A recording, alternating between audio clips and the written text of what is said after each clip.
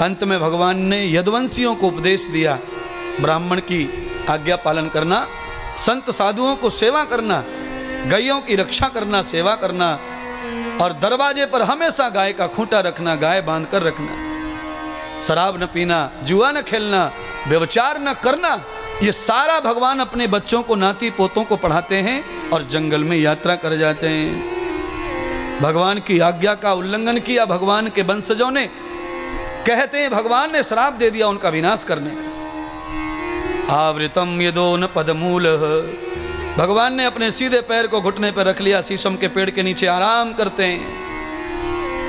हिरण के पीछे भील दौड़ रहा था, बाण छोड़ दिया। भगवान ने बाण अपने पैर में ले लिया, हिरण के प्राण बचा दिया ये हिरण वो है जो राम के अवतार में भगवान ने सीता के लिए धोखे से मार दिया था। मायावी हिरण को आज हिरण की रक्षा करके भगवान ने इस अवतार में पिछले अवतार का ऋण चुकाकर भगवान फ्री हो गए और अपने धाम वैकुंठ में चले गए। बेहतम गंगान भागवतम। तब भगवान जब संसार छोड़ रहे हैं तो सीधा सुखदेव जी, व्यास जी कथा लिख रहे भागवत में जाकर के नारायण प्रवेश हो गए। सुखदेव जी कहते हैं, राजन भगवान बैकुंठ चले गए एक रूप से और विग्रह रूप से भागवत में। कलयुग में जो भी भागवत करवाएगा, जो भागवत को पूजन करेगा, भागवत पढ़ेगा, साक्षात कृष्ण का ही दर्शन फल प्राप्त हो जाएगा उसे भागवत की महिमा इतनी है। सुखदेव जी ने कहा, राजन, ऋषि का श्राप था, तुम्हें लग गया था। देखो राग काल आ गया, तुम्हारा नाग आ गया है, खड़े हो जाओ। राजा अब नहीं डरते काल से, क्योंकि सदगुरु की कृपा हो गई है, मृत्यु का ज्ञान हो गया, राजा स्तब्ध हो गए। हे गुरुदेव, मुझे काल का भय नहीं है, क्योंकि जे ऐसे महान गुरु मिल गए हों, वो कभी किसी से डरते नहीं, किसी से नहीं। सत्कर्मम विशारदम गति। मैंने जो सत्कर्म कर दिया आपके कहने से मेरी गति हो गई। और गुरु आज्ञा से जो आदमी सत्कर्म कर लेता है, गुरु आज्ञा से, उसकी गति पक्की है। उसकी सदगति ही होती है। उसे साक्षात गुरु के चरणों का वास शंकर के चरणों का वास कैलाश का वास दुर्गा का वास विष्णु के लोक का वास प्राप्त हो जाता है। राजा परीक्षित खड़े हो गए। सदगुरुदेव भगवान का ऋण चुकाया। भागवत का पूजन किया और अपनी संपूर्ण हस्तनापुर की संपत्ति गुरु के चरणों में अर्पण कर दी। है गुरुदेव, आपने जो कृपा की है, वो धन से नहीं तोली जा सकती, पर संपूर्ण धन देकर आपने कृतार्थ कर दिया। दक्षिणा के रूप में तन, मन, धन, सम अर्पण कर दिया और राजा जगह पर बैठ गए।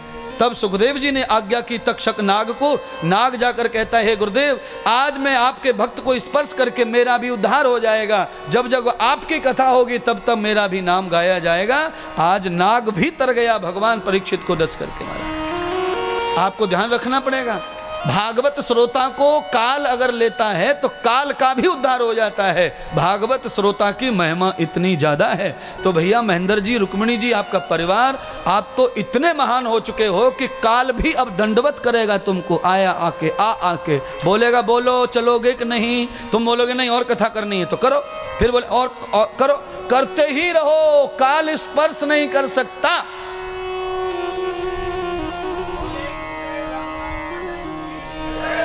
देवम भगवतम प्रियाम।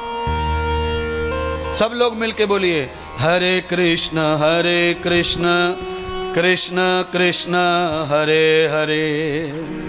आप आइए, पति पत्नी आइए, पूजा करनी पड़ती है। हरे कृष्ण हरे कृष्ण कृष्ण कृष्ण, हरे हरे। हरे कृष्ण हरे कृष्ण। कृष्ण कृष्ण हरे हरे। बोलिए मुक्तानंद महाराज परीक्षित की। जय हो। सुखदेव भगवान की। जय हो। भागवत महापुराण की। जय हो। बस्ती माता की। जय हो। भक्त भगवान की। जय हो। बोलिए कृष्ण कन्हैया लाल की। जय। नमः पार्वती पतये हर हर। महादेव।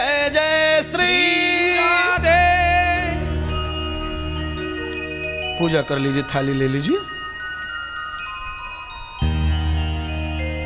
भागवत का संपूर्ण सात दिवसीय जो भी सत्कर्म तुमने किया है, श्रोताओं ने, माताओं ने, बहनों ने, बंधुओं ने, और जिन्होंने भी यहाँ सहयोग किया है, तन का, मन का, धन का, समय का, सभी कार्यकर्ता, युवा साथी, बच्चे, बूढ़े, सभी परिवारीजन, सबको बहुत बहुत भागवत का फल प्राप्त हो। जिस भावना से कथा जिसने सुनी हो, उसकी वो कामना पूरी हो। क्योंकि भागवत का फल कोई बांट नहीं सकता, जो सुनेगा उसे मिलेगा। संपूर्ण क्षेत्र में ये धर्म की पताका लहरती रहे, संपूर्ण क्षेत्र व्यसन मुक्त हो। कोई अकाल ना मरे तुम्हारे क्षेत्र में, और ऐसे पंडाल, ऐसे धर्म आयोजन आपके द्वारा हमेशा होते रहें। भागवत ऐसा आपको शुभ आशीष प्रदान करे। देवम प्रियान भगवतम यस्यम पुण्यम दुर्जता आपके हाथ में रखिए फूल और चावल।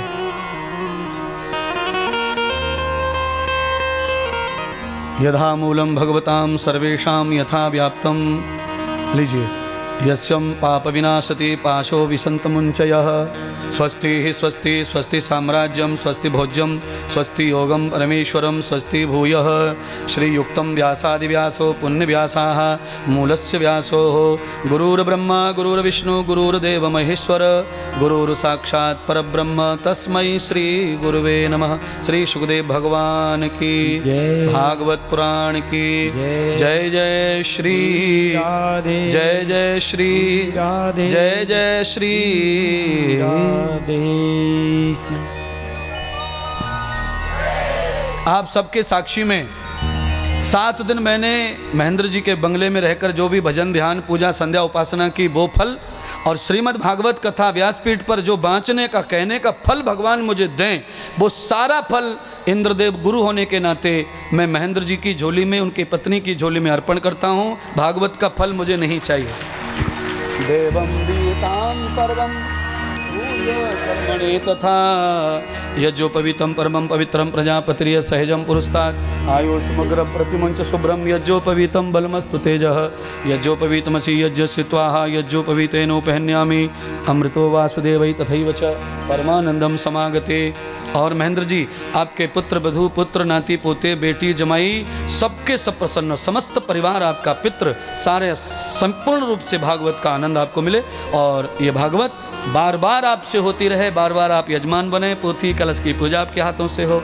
निरंतर धर्म की ध्वजा आपके हाथों से फैलती रहे। आपकी खेती, धरती सब प्रसन्न हो। जितना धन खर्च किया उसका कई गुना धन आपको अगली कथा तक प्राप्त हो। दान हो, महान हो, कल्याण हो। जय जय श्री राधे। अभी बस बस। सबको बहुत बहुत आभार। और इन साधनों में कुछ भी बोलचाल में कुछ कड़क निकल गया हो, उसको छोड़ दीजिए।